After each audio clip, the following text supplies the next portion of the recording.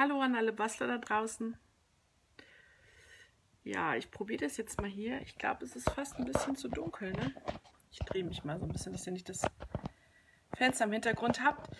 Äh, ja, ich bin ein bisschen aufgeregt. Oh, ich bin das erste Mal live und äh, oh, eigentlich mag ich mein Gesicht gar nicht sehen.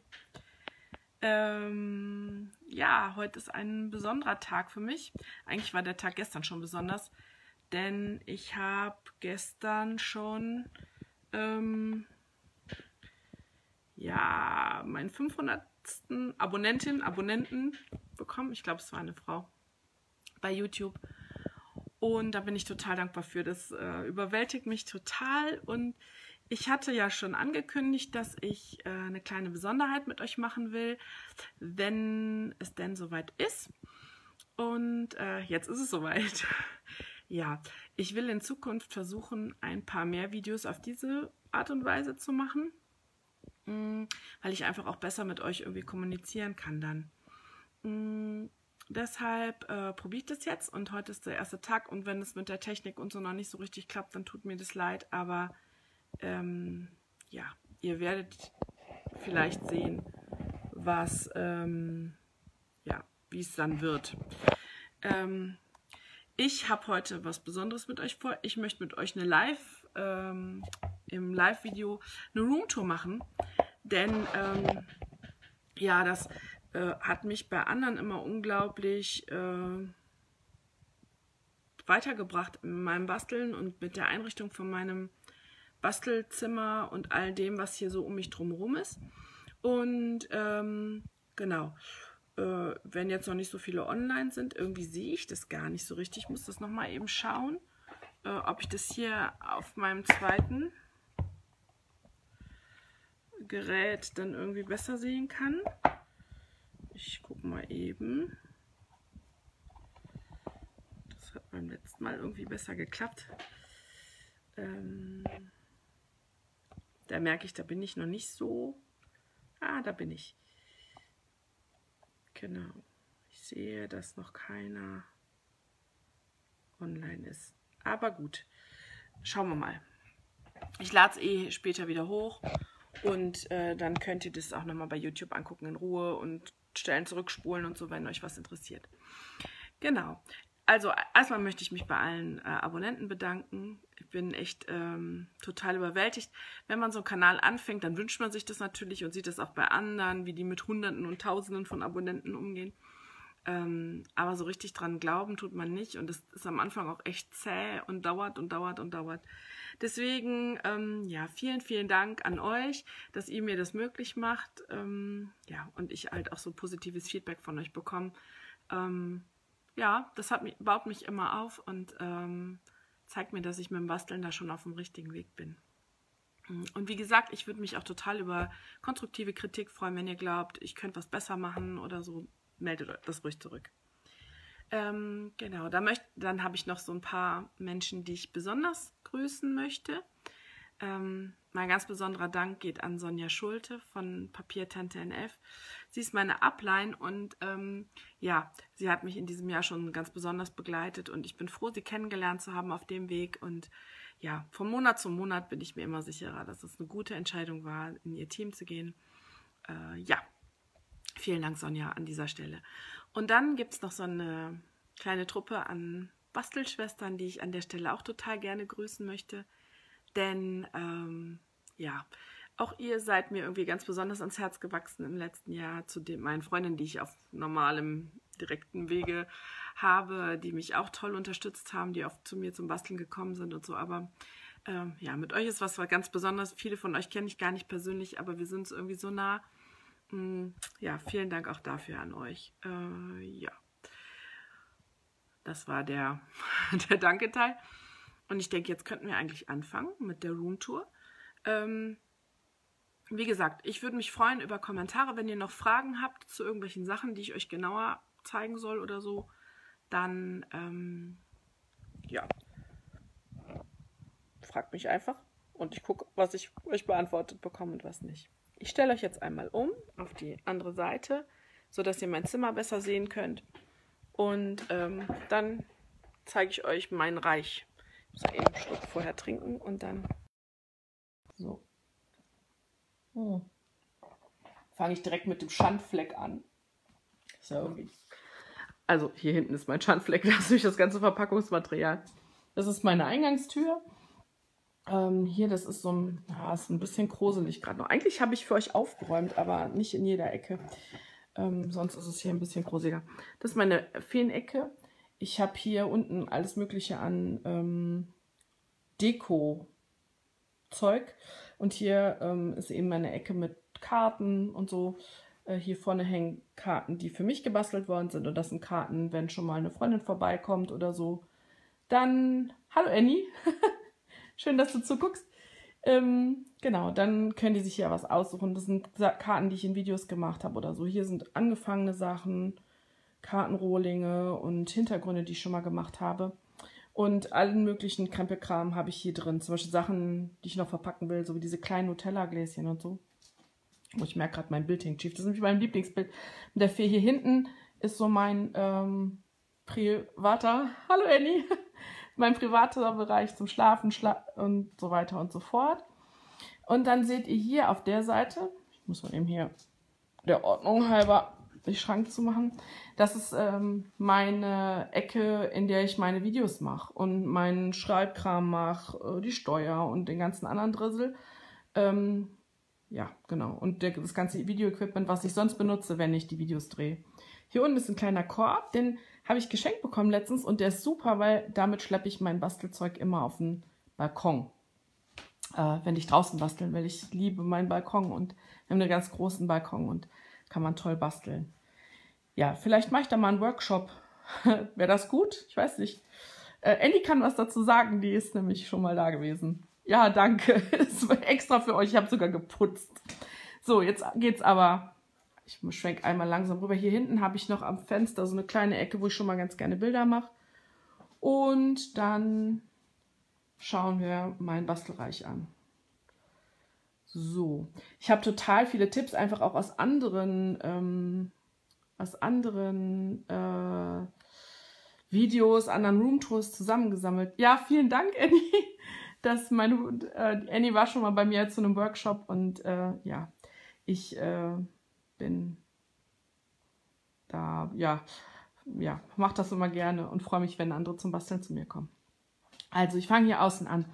Ähm, das ist ein ganz normales Ikea-Regal. Ich habe auch ein Kallax. Ich hatte hier vorne auch noch eins. Viele benutzen die. Ähm, ich finde das eigentlich ähm, immer ein bisschen Platzverschwendung, weil die sind ja, ich zeige euch das mal, die sind ja relativ breit.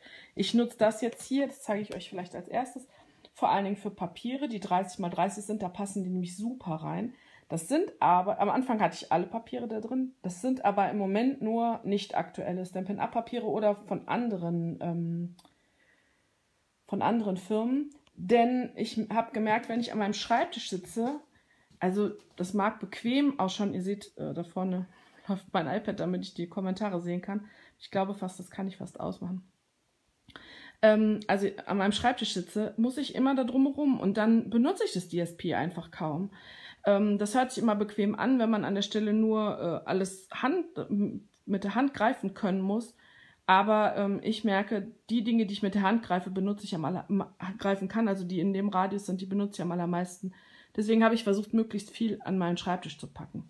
Aber hier im Regal habe ich halt alle möglichen Sachen möglichst nach Themen sortiert. Also zum Beispiel habe ich hier ähm, alle Strukturpasten und Schablonen. Das heißt, wenn ich mit Strukturpaste arbeiten will, das weiß ich in der Regel vorher oder ich merke währenddessen, dass ich das will, dann schnappe ich mir die Kiste hier raus, stelle sie mir auf den Schreibtisch. Deswegen habe ich auch einen großen Schreibtisch, wo dann diese Kisten an der Seite immer Platz haben. Ähm, und hole mir meine Kiste und packe das dann da rein. Und manchmal muss ich die eben auch umpacken. Sind die kleinen, ähm, die kleinen Kisten an der Stelle ähm, so, dass, ähm, dass die irgendwann zu klein werden und ich dann größere brauche. Und ich habe halt verschiedene Größen. Hier sind noch alles mögliche Anwendern, die ich, wo ich mir dann das hole, was ich brauche für Embellishments. Ähm, ich habe hier eine Kleberkiste. Das ist, ich habe auch Kleber an meinem Schreibtisch, aber das ist die Nachfüllkiste quasi. Und eine Embossing-Kiste, die gar nicht zu ist. Ähm, da habe ich, ich zeige euch das mal genau, da habe ich alle Embossing, ähm, also Pulver drin. Und die bewahre ich hier in solchen Tupperdosen auf, die vom Möbelschweden sind. Und habe, ah, das habe ich hier jetzt noch nicht, da habe ich gerade frisch mit angefangen. Ich gucke mal, ob ich eine Farbe finde, wo ich das schon vorbereitet habe. Jetzt wird es ein bisschen holprig. Hier bei Silber ist es so. Ich setze mich mal kurz mit euch hin. Also, ich habe eine Dose mit Silber und ähm, die Dosen kosten nichts. Ich weiß, glaube ich, fünf Stück für zwei Euro oder so. Und dann habe ich hier so einen Kabelclip reingeklebt und da einen Löffel dran gemacht. So hängt mir das, der Löffel nicht im Pulver und ich habe halt immer einen passenden Löffel da, mit dem ich das Pulver auf die Karte kippen kann und das, was übrig ist, fällt direkt in diese Dose. Dadurch, ähm, ja, habe ich, ist es ganz praktisch. Vielleicht könnt ihr oder derjenige, der gerade noch online ist, mir mal kurz schreiben, ob das mit dem Ton soweit okay ist. Ähm, da bin ich mir gerade nicht so sicher. Äh, genau, und so habe ich halt alle möglichen Dinge hier in diesem Regal, die ich mir dann extra hole, wie zum Beispiel die Embossing-Kiste oder so, wenn ich das dann gerade arbeite. Ich habe hier auch noch eine Kiste mit Kartenrohling. Hier sind Akzente, Metallgarn, Verschlüsse und Fenster mit Magneten und so weiter und so fort. Also alles das, was ähm, man da findet. Ja, danke, Annie. Okay, Ton ist gut. Dann habe ich hier daneben so ein kleines Regal. Das habe ich früher mal so für Homöopathiemittel benutzt und so. Da sind meine Nuvo Drops drin. Ein paar besondere ähm, Embossing ähm, Pulver äh, die aber jetzt nicht von Stampin' Up sind. Genau. Und dann gehen wir schon mal weiter. Dann habe ich hier vorne noch so Plastikkisten und in jeder Kiste ist ein angefangenes Projekt. Also viele haben ja so UFOs und äh, wie heißt das unvollendete ähm, Objekte und diese ähm, in den Kisten sind halt Sachen, die ich angefangen habe. Zum Beispiel habe ich arbeite ich hier gerade, ich kann das mal aufmachen, arbeite ich hier gerade an einem Kartenbuch. Ähm, Karten und ähm, die habe ich dann alle da drin, inklusive des Materials, was ich schon zugeschnitten habe und so. So hat man das übersichtlich und das fliegt nicht rum und ich muss eben auch nicht jetzt ein Projekt zu Ende arbeiten, sondern ich kann das erstmal wieder verstauen und was anderes anfangen, je nachdem, wie, wie das zeitlich ist. So, dann kommt hier meine, meine äh, Stanz- und, ähm, und Kalt-Embossing-Ecke. Ähm, ich besitze zwar noch, die werde ich jetzt irgendwann veräußern, eine Big Shot, aber ähm, ich bin umgestiegen auf die Gemini. Ähm, viele fragen mich immer, ob das besser ist mit einer elektrischen. Mir ging es gar nicht darum, dass die elektrisch ist, sondern die ist einfach platzsparender. Ich habe sie hier direkt an meinem Tisch nebenan und kann halt ähm, hier mir einfach das Sandwich nehmen, das da reinpacken hier das äh, zusammenstecken und schiebe es einfach hier rein. Und dadurch, dass die auch eine Rück Rückholfunktion hat, schiebe ich das einmal durch und bevor es hinten runterfällt, lasse ich es zurückkommen und kann halt alles von dieser Seite bearbeiten. Das hört sich jetzt auch so an, als wäre ich total faul, bin ich aber wirklich nicht. Es ist viel bequemer. Früher habe ich die Big Shot auf dem Raskock gehabt, den habe ich mir dann immer rangeholt und ich habe einfach ganz, ganz wenig gestanzt, weil das einfach lästig war. Und jetzt stanze ich bestimmt sechsmal mehr äh, an Zeugs aus. Deswegen, ich kann das nur empfehlen, packt euch eure Big Shot oder was ihr habt wirklich so nah an euren Arbeitsplatz, dass ihr wirklich gerne damit arbeitet. Dann habe ich hier alle meine Stanz- äh, oder einen Großteil meiner Stanzformen. Hier vorne sind halt die von Stampin' Up. Ein, zwei auch von Sizzix noch dabei. Die habe ich in diese Plastikkisten von Ikea gepackt, passt, gepackt. Da passen die super rein. Wenn man halt mehr hat, braucht man mehr. Und die, die ich so von woanders habe, ich muss mal eben schauen, dass ich hier zum Beispiel hier die, die waren mit bei der, bei der Gemini zum Teil dabei. Da nehme ich mir von Action diese, ähm, seht ihr von hinten vielleicht, diese ähm, Magnetpapiere, schneide die mir auf DIN A5 und packe die in diese Hüllen. Und ähm, normalerweise hält das auch, es sind nur gerade jetzt hier zu viele drin. Ich habe aber jetzt hier zum Beispiel alle Schriftzüge drin und dann sortiere ich die halt meist thematisch. Da hinten ist noch eine zweite Kiste mit Embossing-Foldern. Und diese Kisten haben halt auch Deckel und einen habe ich hier als zum Auskurbeln benutzt. Und zwar kann ich dann hier, wenn ich was ausgekurbelt habe, zum Beispiel Schmetterling mit so vielen filigranen Teilen, kann man das hier auskurbeln. Die Sachen fallen hier rein und so kriege ich es halt am besten in den Mülleimer und habe nicht so ein tierisches Theater. Ähm Hier ist noch, äh, ich habe so eine Fusselrolle. Die benutze ich total gerne, um zum Beispiel von einem ausgestanzten Teil, was ich gelöst habe, einzelne kleine Plättchen noch so rauszukurbeln. Das habe ich mal von, bei Jennifer Maguire gesehen. Das funktioniert super. Kann ich nur empfehlen. Die kosten bei Ikea gar nichts, keinen Euro. Und die kann man halt immer wieder benutzen. So, jetzt packe ich mal eben mein iPad hier weg, damit das nicht stört, wenn ich euch den Rest zeige. Hier sind alle meine Stempelsets von Stampin' Up. Das ist so ein Aufsatzregal von Ikea. Dadurch, dass der Schreibtisch tief genug ist, stört das da hinten gar nicht. Und ich habe alle wirklich griffbereit mit der Hand da. Ich hatte letztens Besuch von zwei Bastelfreundinnen und die haben sich total, äh, waren total erstaunt, dass ich so wenige Sets habe. Ich versuche das äh, nicht bewusst, aber möglichst klein zu halten, weil ich einfach möchte, ähm, dass ich nicht so einen Überschwang an Material habe. Das ist schön, wenn man viel Material hat, aber ich finde gerade bei den Stempelsets ähm, ist das oft nicht nötig und dann wird es irgendwann unübersichtlich und ich möchte nicht mit einem Katalog äh, nebenbei sitzen. Hallo Birgit, ah, schön, dass du dabei bist. ähm, genau. Ähm, das, also das sind jetzt alle meine Stempelsets und ähm, von Stampin' Up ich habe noch so ein paar einzelne ähm, ältere, die habe ich weggepackt. Ähm, es gibt noch einen anderen Ort, da habe ich äh, Stempelsets, die eben nicht von Stempel ab sind, da oben in diesen Ordnern. Die sind auch in diesen DIN A5-Hüllen mit einer Pappe dahinter und da stecke ich die rein. Ähm, genau, aber meistens arbeite ich eh mit den SU-Sachen. Wenn man einmal die Qualität zu schätzen gelernt hat, dann ähm, ja, nutzt man die anderen Sachen, finde ich nicht mehr so gern. Und für meine Arbeit ist es eh nötig. Dann habe ich hier noch so, ja klar, was man braucht, alles mögliche an Stiften. Ich versuche, dass da möglichst immer nur einer von jeder Sorte drin ist, damit es nicht über, unübersichtlich wird. Genauso meine Scheren, Cuttermesser und mein Falzbein. Ohne das geht wirklich Arbeiten kaum. Ähm, ich habe auch immer noch so kleine ähm, Wäscheklammern, um zum Beispiel, wenn ich Boxen zusammensetze und so, da bin ich ungeduldig beim Kleben. Dann fixiere ich die da. Da bin ich echt total... Ähm, froh drum, die benutze ich ziemlich viel. Und natürlich Tücher für allen möglichen, wenn mir das Glas umkippt oder ich beim Aquarellmalen was ähm, neu machen will. Ich glaube, ich ruckel ein bisschen viel, ne? Ihr müsst mir das sagen, wenn das zu viel wird. Ähm, genau. Dann habe ich hier noch ähm, so eine kleine Box. Hier hinten sind noch so lose Teile. Hier habe ich eine Box mit Stanzteilen. Ich glaube, jetzt war ich gerade auf dem Mikro. Ne? mit Stanzteilen, die einfach übrig waren oder Sachen, die ich mal koloriert habe, so wie diese Blüten oder so, die irgendwann mal übrig waren. Und, ähm, oder hier sind auch so gestempelte Sachen, die übrig waren, wo ich noch keine Karte mitgemacht habe, die hebe ich halt da auf. Da will ich einfach, ähm, ja, die sind zu schad, um sie wegzuschmeißen und da gucke ich dann doch immer wieder nochmal rein. Manchmal ist das auch eine einfach eine Idee, wenn ich keine Ahnung habe, was ich machen will, nehme ich mir die Kiste, suche mir zwei, drei Stanzteile aus und dann arbeite ich damit was meine Gansai Tambi. Das sind Aquarellfarben in äh, Gold, verschiedenen Gold- und Silbertönen. Die liebe ich total für Akzente oder so. Benutze ich die schon mal ganz gern. Oh, jetzt bin ich gerade auf über euch drüber. Das wollte ich nicht. So, dann hier mein Stemperatus. Da liegt noch was drunter. Ach, kleine Mini-Dankeschön-Kärtchen, die ich immer wieder mal brauche für Kunden oder wenn ich eine, was fertig gemacht habe.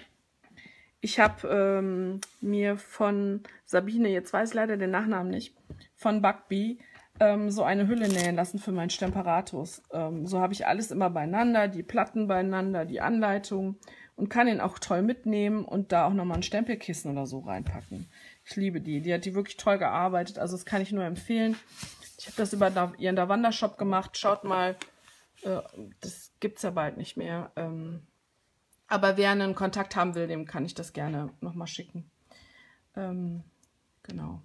So, und dann ist meine Arbeitsfläche hier, also die, ähm, mein, äh, ja, das Zentrum quasi meiner Arbeit. Meine Stempelmatte, meine Klebematte, die ich viel zu selten benutze, was total ärgerlich ist. Dann habe ich hier alles mögliche an äh, Reinigungsmitteln, ähm, Stampin' und ähm, Stays-On-Reiniger. Ich habe auch immer so ein total ölsches ähm, Mikrofasertuch hier und natürlich die äh, Schrubbkiste. Dann habe ich mir bei Regale für dein Hobby diese Stempelregale gekauft und das war echt eine total gute Investition, weil ich alles übersichtlich wirklich da habe. Man sieht, mir fehlen noch einige Nachfüller. Das kommt so nach und nach immer mit. Und hier oben habe ich dann passend dazu noch diese Kisten mit den Fingerschwämmchen für jede Farbe, sodass ich die halt äh, ganz prima hier in der Nähe habe und wenn ich die brauche, benutze ich die.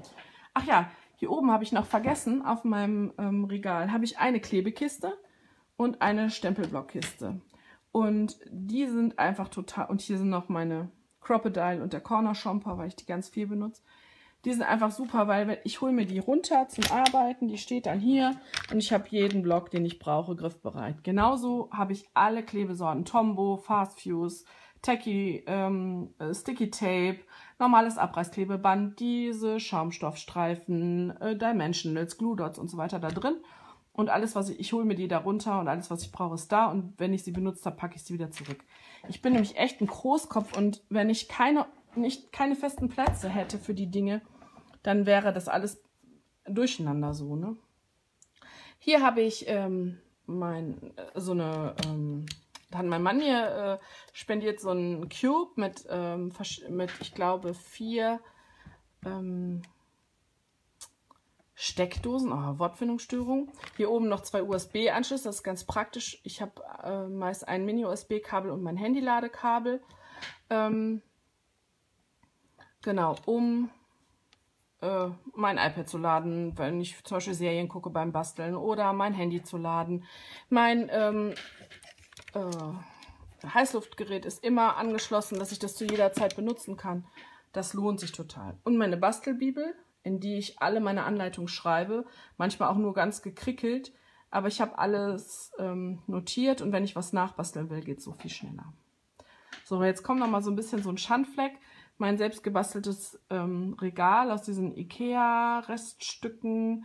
Das ist schon sehr windschief und ich bräuchte auch ein zweites, wie man sieht, so langsam. Und da denke ich, werde ich mir zu meinem Geburtstag, der bald ist, ähm, auch nochmal ein Holzregal äh, wünschen, weil das ist einfach kein Zustand. Also da muss was Neues her. Dann, jetzt wird es ganz spannend, jetzt geht es um Müll. Ich habe hier so einen Dekotopf. Ja, Dekotopf.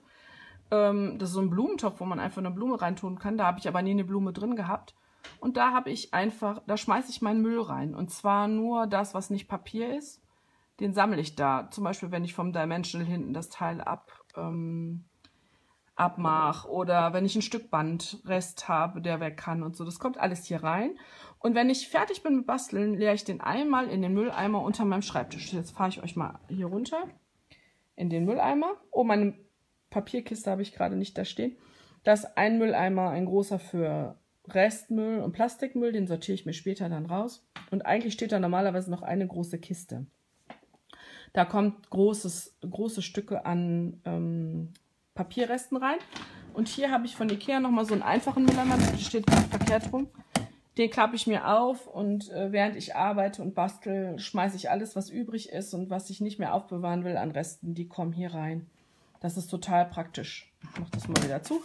Das ist total praktisch, weil ich wirklich alles von meinem Schreibtisch aus machen kann, für nichts aufstehen muss. Nochmal nicht, weil ich faul bin oder bequem oder so, sondern wirklich, weil es einfach schneller geht und ähm, praktischer ist. So.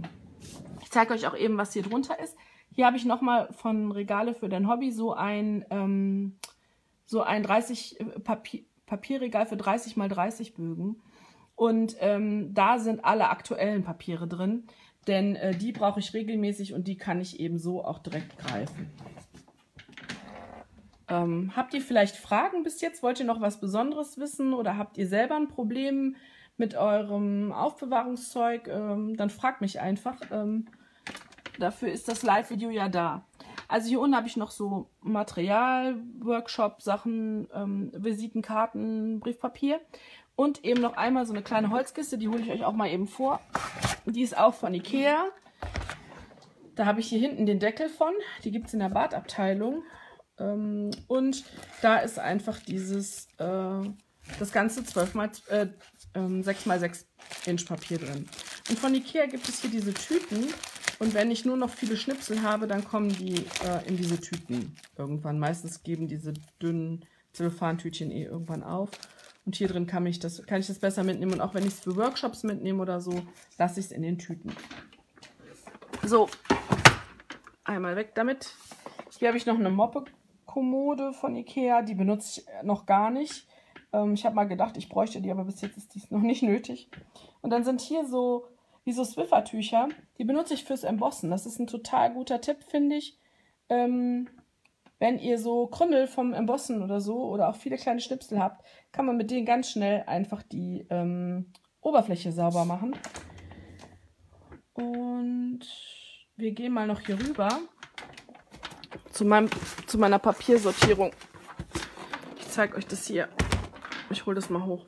Ich habe in zwei von diesen festen äh, Ikea-Standordnern, ich weiß gar nicht, ob ich so oft Ikea sagen darf, wahrscheinlich nicht, ne? ähm, sammle ich diese, äh, sammle ich alle Papiere. Und zwar hier zum Beispiel sind alle Reste von Blutorange. Das sind so A4-Hüllen mit so einer, das ist jetzt ein bisschen geknickt, mit so einer seitlichen Lasche. Dadurch fallen mir die da nicht raus. Und ich habe mit dieser Karteireiterstanze hier oben einmal den Beginn einer neuen Farbfamilie, also hier mit den Signalfarben markiert und die Farbe dann.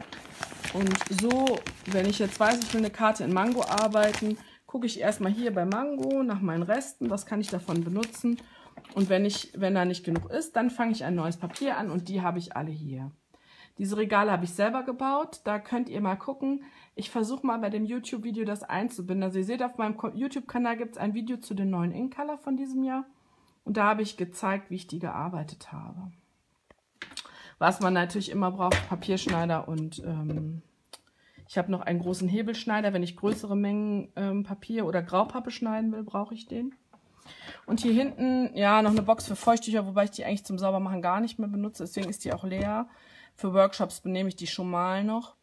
Und ein Desinfektionsmittel. Und das ich, habe ich nicht hier, weil ich einen totalen Putzfimmel habe und es hier keimfrei an meinem Basteltisch haben will, sondern damit kriegt man super Klebereste weg.